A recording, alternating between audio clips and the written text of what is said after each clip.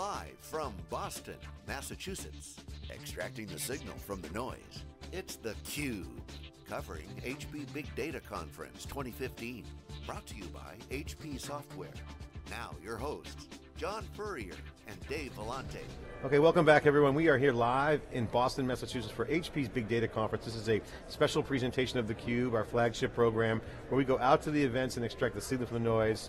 I'm John Furrier with Dave Vellante here, Wikibon.on Research. Our next guest, Stephanie McReynolds, uh, VP Marketing, Alation, hot new startup um, that's been kind of coming out of stealth, that's out there.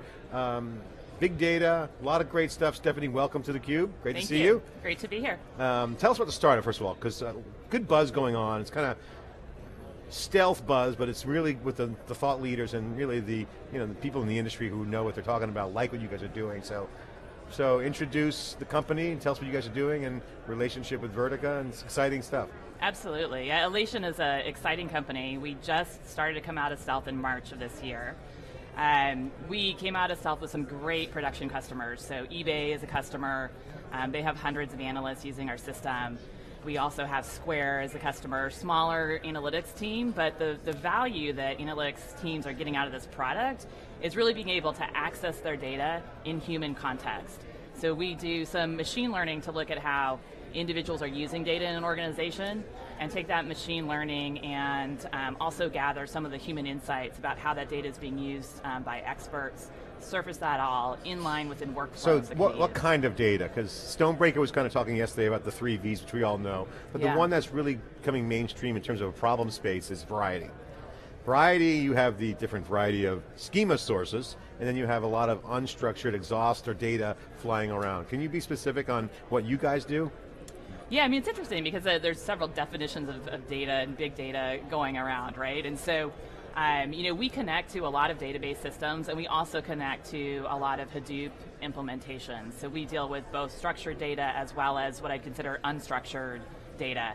And I think the third part of what we do is bringing context from um, human created data or human information with which Robert uh, yesterday was talking about a, a little bit, which is, you know, what happens in a lot of analytic organizations is that um, there's a very manual process of, of, documenting some of the data that's being used in these projects, and that's mm -hmm. done on wiki pages or spreadsheets that are floating around the organization. And that's actually a really rich Slack, Basecamp, Slack, all these all collaboration, these, all these collaboration platforms. And what you realize when you start to really get into the work of, of using um, that information to try to write your queries, is that trying to reference a wiki page and then write your SQL and flip back and forth between maybe 10 different documents is not very productive for the analyst. So what our customers are seeing is that by consolidating all of that data and information in one place where the tables are actually referenced side by side with the annotations, their analysts can get from 20 to 50% savings in productivity. And new analysts, maybe more importantly, new analysts can get up to speed uh, quite a bit quicker. Um, at, at, Square the other day, I was talking to one of the, the data scientists, and he was he was talking about you know his process for finding data in the organization, which uh, prior to using Alation, it would take him about 30 minutes going to maybe three or four people to find the data he needed for his analysis. Um, and with Alation, in five seconds, he can run a query, search for the data he wants, gets it back, gets kind of all that expert annotation already around that base data set, and he's ready to roll. He can start um, testing some of his hypotheses. So you call it a platform, right? You've heard it was a platform, and it and and you said you work with a lot of database the databases, right? So it's tightly integrated with the database in this use case? Or? So it's interesting. Um, you know, we see databases as a source of, of, information. So we don't create copies of the data on our platform. We go out and point to the data where it lies um, and surface that, you know, that data to, to the end user. Now, in the case of uh, Vertica and our relationship with Vertica, um, we've also integrated Vertica into our stack uh, to support what we call data forensics, which is the ability for not an analyst who's using the system day to day, um, but for an IT individual to understand what are the behaviors around this data and the types of analysis that are being done. Uh, and so um, is a great high performance platform for dashboarding and, and, business intelligence, the back end of that, providing you know quick access to aggregates. So one of the things. Well, what part of Vertica are you guys? Just the engine? What specifically again? Yeah, so so we use the the Vertica the Vertica engine underneath our forensics uh, product, um, and then the, that's a, you know one portion of our, our, our platform. The rest of our platform uh, is built out on other other technologies. So Vertica is part of your solution. Is it's that part right? of our solution. It's it's one application that we part of one application that we deliver. So we've been talking all, all week about this. I mean, Colin Mahony in his talk yesterday, I don't know if you saw it, but he gave a little history on ER, uh, ERP, uh, how initially it was highly customized and it became packaged apps. Um, and he, he sort of pointed to a similar track with analytics. Although he said it's not going to be the same, it's going to be more composable sort of applications. I, I wonder, and, and historically the analytics and the database have been closely aligned, I'll say, not, maybe not integrated. Do you see that model continuing? Uh, do you see it more packaged apps or more this what Colin's calling composable apps? What's the relationship between your platform and, and the application layer? Yeah, so our platform is, is really more tooling for those individuals that are building or creating those applications. So we're helping data scientists and analysts find what algorithms they want to use as a foundation for those applications. So a little bit more on the discovery side, where folks are doing a lot of experiment, um, experimentation. They may be having to prepare data in different ways in order to figure out what might work for those applications, um, and that's where we fit in as a as a as a vendor. And what's your license model? And so, you know, we're on a subscription model. We have customers that have data teams in the in the hundreds at a place like eBay.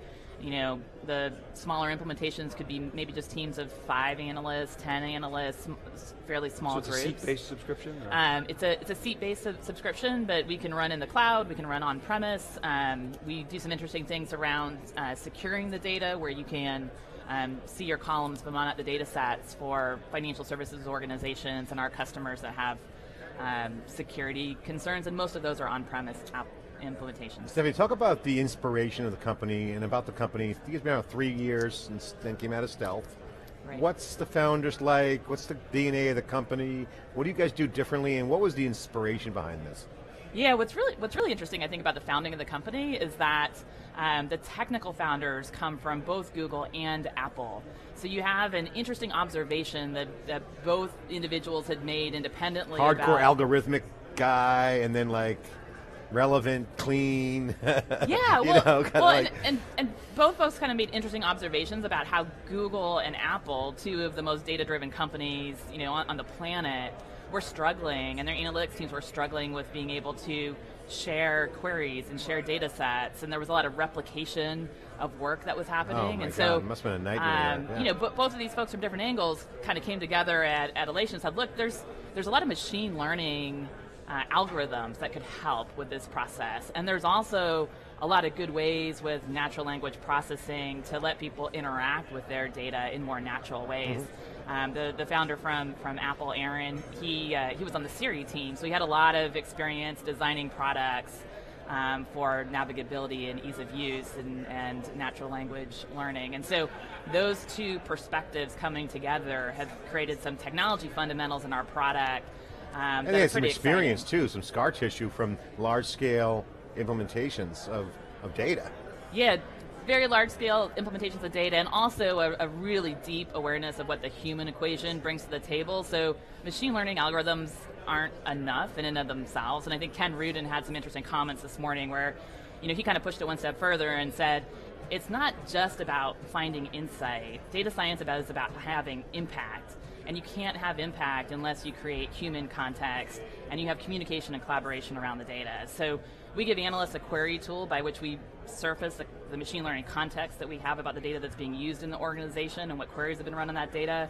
But we surface it in a way where the human can get recommendations about how to improve their, their SQL and drive towards impact and then share that understanding with other analysts in the organization so you get an innovation community that's started. So who are you guys targeting? Let's step back and okay, the go to market now. You guys are launched, um, got some funding. Can you share the amount, or is it private, confidential, or what was? How much did you raise?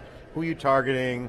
What's your go to market? What's the value proposition? Give us the give us the this data. Yeah, so, so the, the initial value proposition is just really about analyst productivity. That's where we're targeted. How can you take your teams of analysts, and everyone knows it's hard to hire these days, so you're not going to be able to grow those teams out overnight. How do you make the analysts, the data scientists, the PhDs you have on staff much more productive? How do you take that Yeah. 80 to 90% of the time that they're Get them using stuff, sharing data. Get them using stuff, get them sharing data. Try to get them out of the tedium of trying to just find data in the organization and prepare it, and let them really innovate um, and and use that to drive value back to the to the organization. So we're often selling to individual analysts, to analytics teams.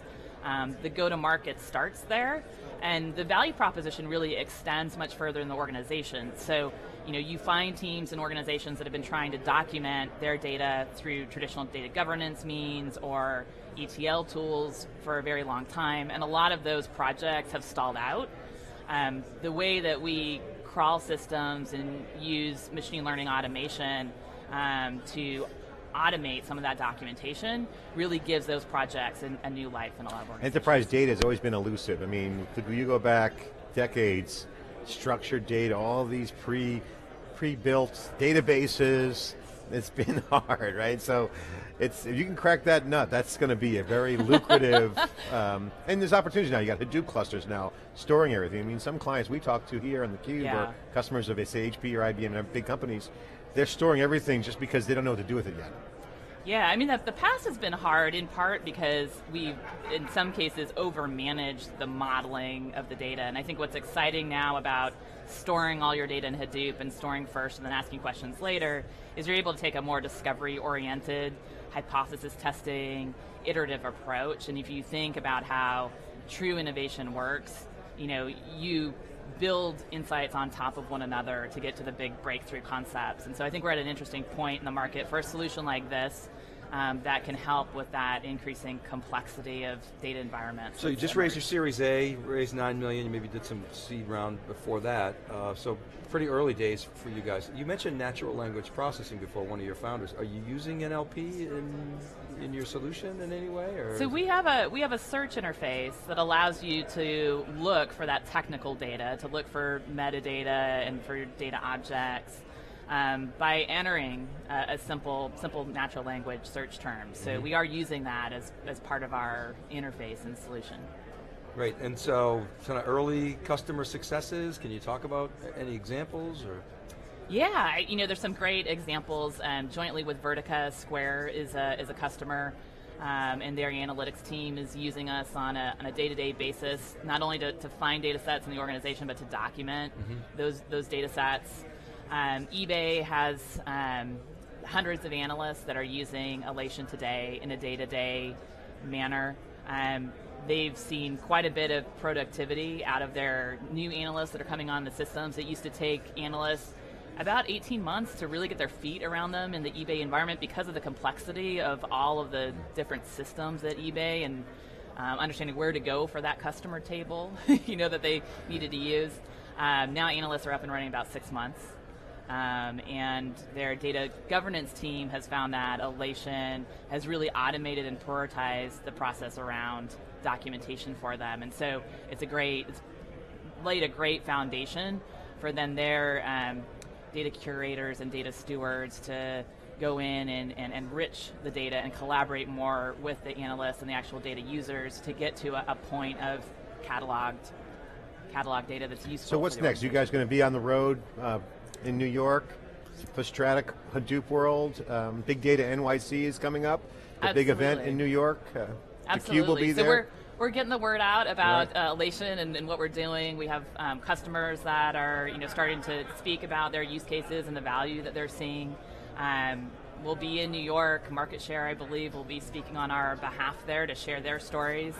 And uh, then we're also going to a couple other conferences after that. You know, the fall is a, an exciting time for. Which one's your big ones there?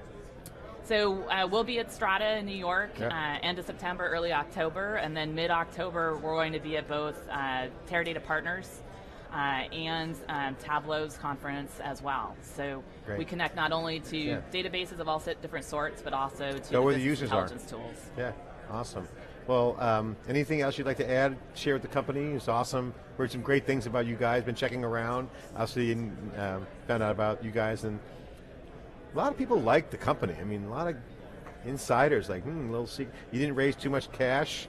Um, just raised, that's not the million, zillion dollar round. I think what, you raised like nine million? Yeah, we raised nine million, and I, you know, I think we're building this company in a traditional value-oriented way, right? We're Hey, we're tracking revenue. Hey, we're stay alive. bringing in uh, revenue and trying to balance that out with uh, venture capital investment. And it's not that we won't take money, but we want to build this company in a Yes. very a durable. way. So the vision is to build a durable company. Absolutely, absolutely, and that may be different than, than some of our competitors out there these days, but that's Yeah, uh, the I mean, path we think. Dave and I have not taken any financing on Silicon Angle at all. So you know, again, we believe in that, and you might pass up some things, but you know what? Have control, and you guys have some good partners. So congratulations. Thank you. Um, final word. What's this conference like? You go to a lot of events. What's your take on this on this event? Yeah, I do. I do end up going to a, lot of events as part of the, the marketing role. Um, you know, I think what's interesting about this conference is that um, there are a lot of great conversations that are happening, um, and happening not just from a technology perspective, but Yeah. also uh, between business people and uh, deep thinking about how to innovate.